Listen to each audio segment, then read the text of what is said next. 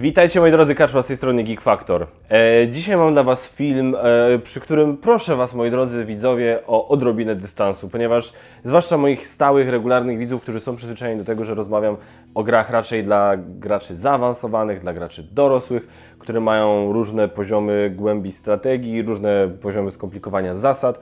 Dzisiaj robię film zgoła inny. Dzisiaj wydawnictwo Tref poprosiło mnie o przygotowanie filmu o ich serii gier rodzinnych przygotowanych pod jakby szyldem ro, rodziny Treflików. Rodzina Treflików jest serialem animowanym, y, kręconym technologią stopklatkową, właśnie organizowanym, z wymyślonym, zaprojektowanym, jakby tak całkowicie produkowanym przez wydawnictwo Tref.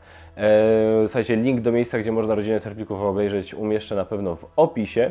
E, I wydawnictwo Tref postanowiło, swoją drogą rodzina Tref, rodzinkę Treflików można oglądać w, e, też poniekąd na żywo, a raczej podobizny członków rodziny Treflików można oglądać na żywo podczas różnych meczy Tref Sopot. Wiem, bo byłem, można spotkać ich na trybunach. I wydawnictwo Tref stwierdziło sobie, no skoro mamy taką, taki przyjemny serial dla, dla dzieci, rodzina Treflików, to czemu nie wziąć takie nasze najpopularniejsze rodzinne dzieci, tytuły dla małych dzieci i właśnie je w rodzinę Treflików pokolorować i poprosili mnie, żebym dla Was właśnie o tych grach opowiedział. Więc od razu mówię, w tym filmie opowiem Wam o grach, w które ja na przykład sam nie gram. E, Mało tego, nie gram też w nie z moimi dziećmi starszymi, z Osią i Leonem, ponieważ oni są moim zdaniem trochę za duzi na tego typu gry. Chociaż Leon, na nie, Leon w niektóre z nich jeszcze, jeszcze by może pograł. E, więc one na razie u mnie leżą i będą czekały, aż Malwina zrobi się odrobinę starsza, bo ona z kolei jest za młoda, żeby móc w nie zagrać. Bo to są gry bardzo, bardzo proste. Tutaj będę mówił o grach naprawdę, które padają często w różnych rozmowach, padają często w rozmowach z osobami niegrającymi i tak możecie je kojarzyć. Słuchajcie, tymi grami są ten oto tutaj pokaźny stos. Chińczyk, grzybobranie, skoczki na ryby i urodzinki. I właśnie o tych grach Wam chcę opowiedzieć, chcę Wam je zaprezentować, od razu Wam mówię. To nie będą wideoinstrukcje, to nie są wideoinstrukcje, gdzie ja Wam pokażę od A do Z, jak się w daną grę gra, ponieważ nie chcę, żeby to trwało za długo. To będzie taki bardziej ogólny, ogólne rzucenie oka na rozgrywkę, żebyście mieli pojęcie, o co w tej grze chodzi i zadecydowali, ponieważ słuchajcie, te gry są od trzeciego albo od czwartego roku życia.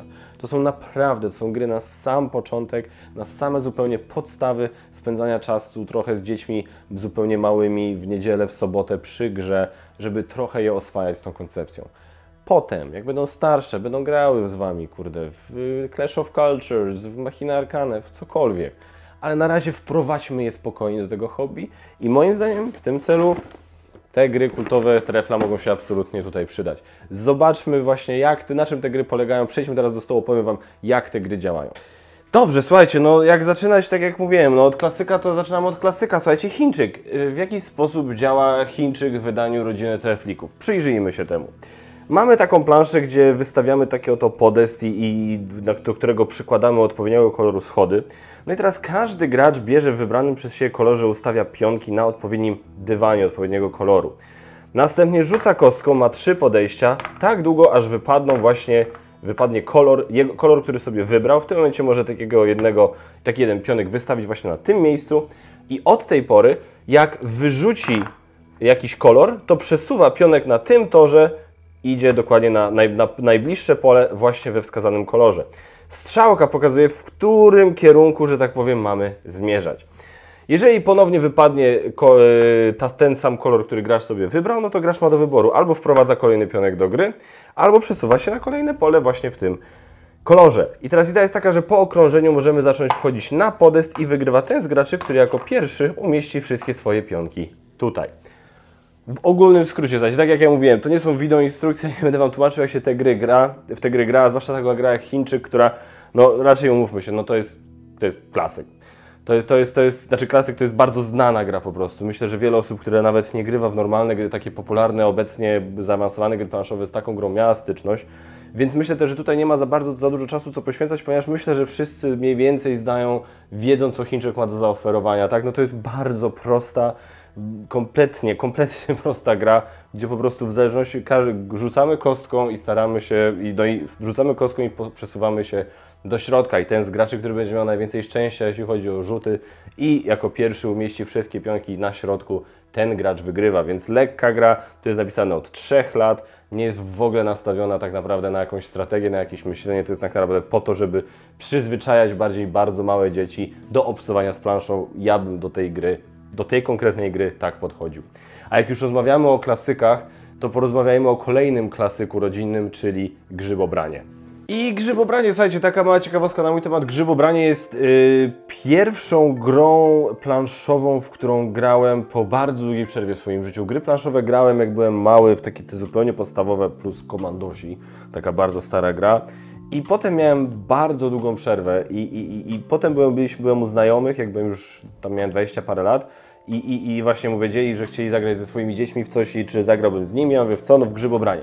Więc zagraliśmy w te grzybobranie i to była pierwsza gra planszowa, którą miałem, z którą miałem wtedy styczność. I sobie pomyślałem, okej, no tak, tak dla rodzinki, żeby sobie posiedzieć i, i pochodzić i pozbierać grzybki, to jak najbardziej w porządku. Chociaż osobiście nie lubię w ogóle zbierania grzybu takiego prawdziwego, więc może temat nie do końca dla mnie temat. Ale, ale mówisz jak najbardziej w porządku, ale przez, potem przez jakiś czas pamiętam miałem takie poczucie, że w mojej głowie, tak jak dla wielu osób w dzisiejszych czasach, gry planszowe to Monopol albo Chińczyk. A tak dla mnie przez jakiś czas właśnie, bo te gry planszowe to pewnie takie, no, to współczesne gry planszowe to pewnie takie grzybobranie i tego typu rzeczy. To z kolei musiałem przełamać po paru kolejnych latach, gdzie właśnie odkryłem nowoczesne bardziej gry dla zaawansowanych graczy. Natomiast w tej grze zobaczmy o co chodzi. I tutaj koncepcja jest bardzo prosta, również opieramy się na losowości, na szczęściu, ponieważ mamy kostkę, naszymi pionkami są wiaderka, którymi się przesuwamy i jak wejdziemy na pole, na którym jest grzybek, to upsi, to ten grzybek zbieramy sobie do wiadra. Jeżeli niezależnie od tego, jakiego koloru to grzybek by nie był. Te czerwone grzybki to są muchomory, o tutaj mi się trochę rozleciał jeden, to są muchomory, i teraz idea jest taka, że jak tylko pierwszy gracz, jak tutaj zatoczymy całe koło po tym i pierwszy gracz przekroczy linię mety, to w tym momencie każdy patrzy, jakie grzybki ma w wiad- wiadrze. Za każdy normalny grzybek jest punkt, za każdego muchomora jest minus dwa punkty.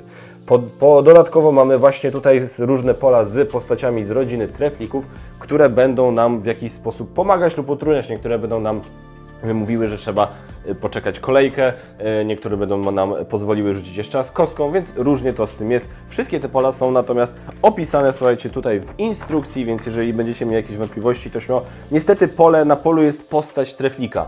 Nie jest jakąś ikoną na przykład pokazane, co się na tym polu dzieje, więc jeżeli, więc jeżeli chcecie w miarę dynamicznie, w miarę sprawnie grać, to na wiadomo, dopóki nie zapamiętacie, co jaka postać robi, to te instrukcje po prostu trzymajcie w pobliżu i to jest właśnie to. To jest grzybobranie. Mówię, jedna z pierwszych gier y, planszowych, w które zagrałem jako człowiek dorosły i jedyne co mogę powiedzieć tak naprawdę, bo ja za dużo w to nie gram, jest to na pewno najładniejsze wydanie tej gry, jakie widziałem, bo to pierwsze, w które ja wtedy grałem, to było takie, no, sprzed właśnie tych nastu lat, ale to wydanie no, jest o wiele ciekawsze, o wiele ładniejsze, więc, e, więc mówię, jeżeli tak dla takich małych dzieci ponownie, które wdrażacie, tutaj mamy informację, że to jest od 4 plus, no bo tutaj no nic nie trzeba robić, a dzięki temu właśnie nauczymy dziecko tam jak się liczy, że raz, dwa, trzy, cztery, no to tutaj myślę, że nie pojawi żadnego problemu. Ponownie dobra gra, dobra gra żeby wprowadzić małe dzieci e, do świata po prostu gier planszowych. No dobrze, słuchajcie, to teraz to było troszkę, że tak powiem, o,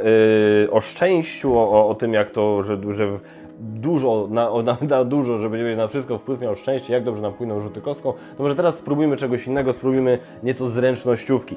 Jednym z przykładów tego jest gra na ryby. Teraz gra na ryby, e, swoją drogą zawsze e, jakoś tak pamiętam, że e, nie jest to na szczęście związane z słynnym tekście, tekstem o amatorstwie wędkarstwa, ale zawsze mi się kojarzyło, że e, pójście na ryby to jest takie zajęcie ojca z synem, ale ponieważ cała ta otoczka tego wchodzenia na ryby, jeżdżenia na ryby, o której to się trzeba wstawać, jak to się odbywa, e, jak się potem pachnie, e, to wszystko sprawiło, że ja się w sumie z tego wypisałem, ale cieszę się, że w sumie jeżeli przyjdzie mi i mojemu synowi kiedyś ochota pójścia na ryby, to mam to teraz w takiej postaci gierki. O co w tej grze chodzi? Słuchajcie, na początku, od razu mówię, tutaj w normalnej rozgrywce będzie wiele więcej rybek powsadzanych w te otwory.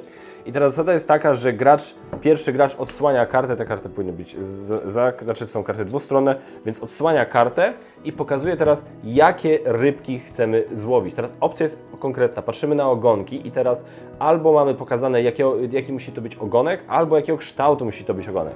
No i teraz na 3-4 gracze naraz próbują wypełnić zadanie. Gracz, który jako pierwszy wypełni, wygrywa, że tak powiem, daną kartę, zdobywa te punkty. No i teraz próbujemy po prostu haczykiem wejść, prawda, złapać daną rybkę, o proszę bardzo, i tym sposobem, patrzcie, udało mi się, kształt mi pasuje tutaj. Jeżeli by się tak okazało, że złowię rybę, która, tutaj sobie pomogę, żeby Wam za długo nie tłumaczyć, żeby tego nie przedłużać, jeżeli złowię rybę, która mi nie pasuje ani kolorem, ani kształtem, no to muszę ją z powrotem, a za pomocą wędki odstawić i wracam dalej i próbuję dalej, uwaga, próbuję, próbuję, próbuję, kurczę, widzicie, to jest naprawdę, to jest trudniejsze niż by się mogło wydawać. Halo, dzień dobry, możemy się złapać? O, proszę bardzo. I udało mi się i w tym momencie mam dokładnie taki kształt tutaj, ten kolor tutaj, więc udało mi się, zachowuję po prostu tę kartę, tyle mam punktów. Następnie, jak, jak skończymy, obracamy o 90 stopni, tak żeby trudniej było graczom zapamiętać, gdzie jaka rybka jest. Kolejna karta, dziękuję i próbujemy znowu, dopóki ktoś tego zadania nie wypełni. I po iluś tam ustalonych rundach gra się kończy i patrzymy, kto ma z tych kart najwięcej punktów. No więc to już jest gra, która moim zdaniem, yy, tak jak te dwie gry są po prostu dla mnie miłą, mogą być miłą formą spędzenia czasu z dziećmi przy stole, tak tutaj przynajmniej już, która też jest bardzo mała, bo tutaj od, znaczy bardzo mała, od bardzo młodego wieku jest ta gra zasugerowana, bo od czwartego roku życia, tutaj przynajmniej coś trenujemy, tak? Czyli trenujemy trochę zręczności, opanowania, spokoju i skupienia, no bo to trzeba, tak? Ja jestem dlatego fatalny na przykład w tę grę, bo wielu z tych cech nie mam. Ale jak na rybach, cierpliwie, spokojnie staramy się skupić, żeby odpowiednią grę, odpowiednią rybę złowić. Więc mówię, tutaj jest, to jest dla mnie na przykład pozycja z mojego punktu widzenia odrobinę, le, odrobinę lepsza od tamtych, bo tak jak tam mówię, no po prostu się, okej, miło spędzamy czas, bo sobie gramy w planszówkę. Tak tutaj też miło spędzamy czas, bo gramy w planszówkę, ale dodatkowo czegoś się uczymy. No to przy zręcznościówkach zostaniemy, teraz mamy skoczki od trzeciego roku życia w górę i ponownie przyjemnie spędzony czas plus lekka tam nauka. E, Tutaj może już nie tyle skupienia i, i, i opanowania i cierpliwości, co bardziej e, precyzji i właśnie zręczności. Ponieważ tutaj gra polega na tym, że mamy właśnie taką planszę i każdy gracz dostaje swoją wyrzutnię i trzy skoczki właśnie w wybranym kolorze. Następnie gracze umieszczają swoje skoczki tutaj w tym miejscu na kole, następnie uderzają i próbują nie przestrzelić w ten oto sposób, żeby... O!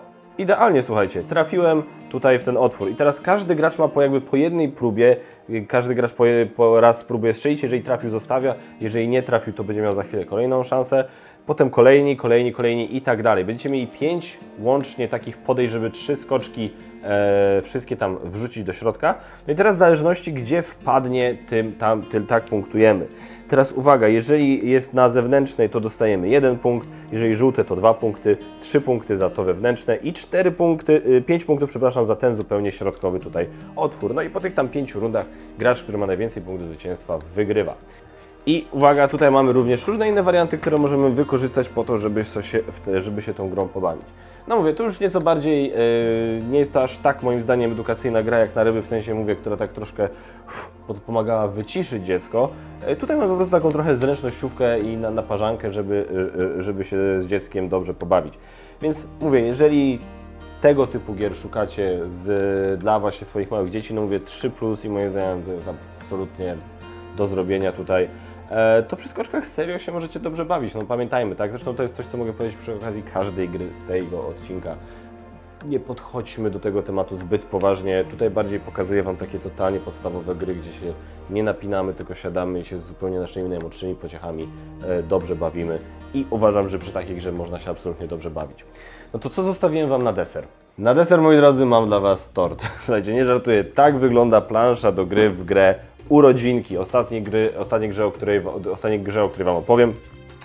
Tutaj będziemy grać troszkę kooperacyjnie, no właściwie nawet nie troszkę, ponieważ ustawiamy się na odpowiednich, słuchajcie, polach startowych. Tutaj zrzucę Waszą stronę, proszę bardzo. Teraz słuchajcie, każdy gracz w swojej kolejce rzuca czerwoną kostką po to, żeby się poruszać.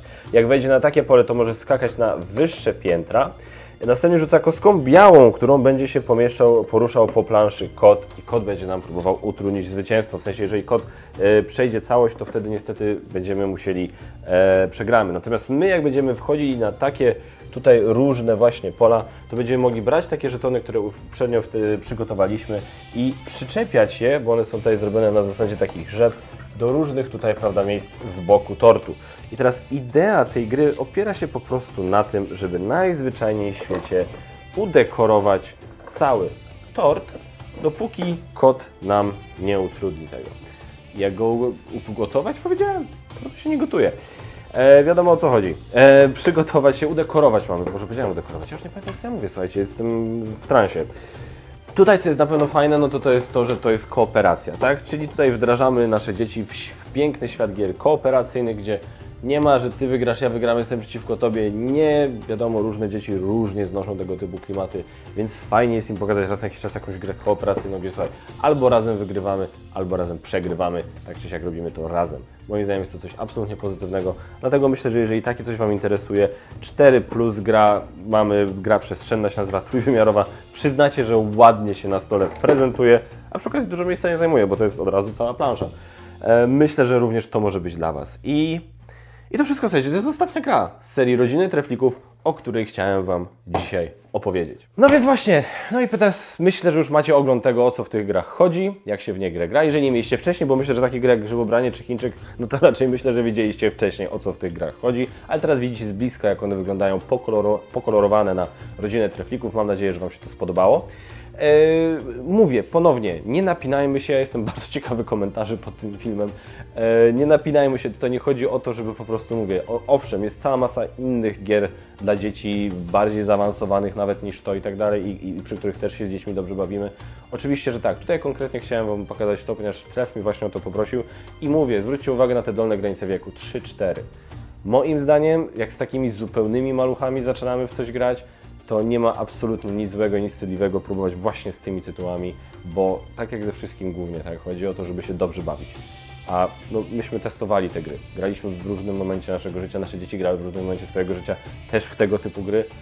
No i się dobrze bawiły.